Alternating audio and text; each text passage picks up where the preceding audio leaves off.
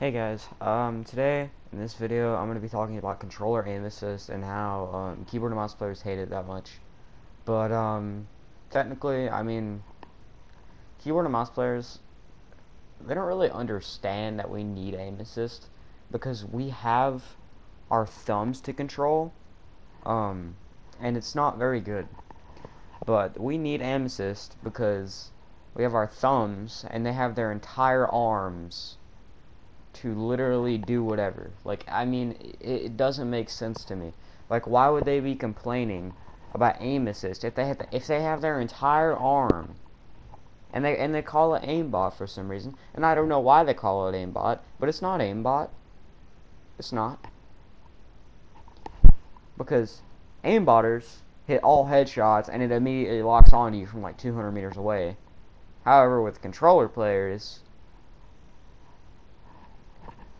like assist guides them to their target, yeah, but it, it's not like yeah they hit a mix of headshots and everything, but it's not aimbot because I'm a controller player myself, and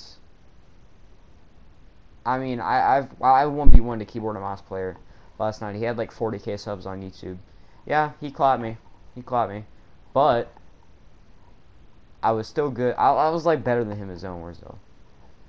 Um, I did wind up dropping 41 kills, but you know, he was lagging apparently. But you know, like he was like going off by aim assist, and I'm like, bro, we need aim assist because if we don't have aim assist, then what? Are, then how are we? How are we supposed to like play the game? Like, I okay, keyboard and mouse players, if you have a controller, I'm talking to you, Booga. If you have a controller, okay, plug it in, and then put the aim assist strength down to all the way to zero, and then you'll see what we'll have to deal with. Because keyboard and mouse players are just trying to switch controller players up and make them have to switch to keyboard and mouse because they don't like how aim assist works.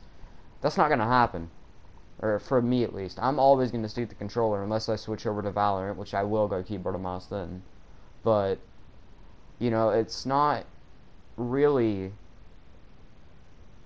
a, a good behavior to have. Because, I mean, I know they're only talking about controller on PC players, but I feel like they're also talking about console players like myself that are very, very good at the game. Um, but you know, I, I just wish that keyboard and mouse players would have a different mindset about console players and and, uh, keyboard and mouse player or not keyboard and mouse, uh, controller on PC players.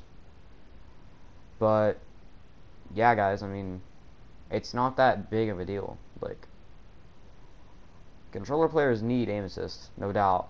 I mean, even Nick A30 agreed to that. Because if if we didn't have aim assist, then we could we couldn't play the game because like if we didn't if we if we didn't have an aim assist then how could you expect all these top tier controller pros to like win games? It's not it's not it's not that it's not it's not a good mindset to have on keyboard and mouse players anyways. That's all I wanted to address and um, if you do enjoy my content please like and subscribe. And um, I love each and every one of you that do support me. Um, I'm going to be doing a collab with that YouTuber soon. So, uh, yeah. I love you guys. See you later. Peace.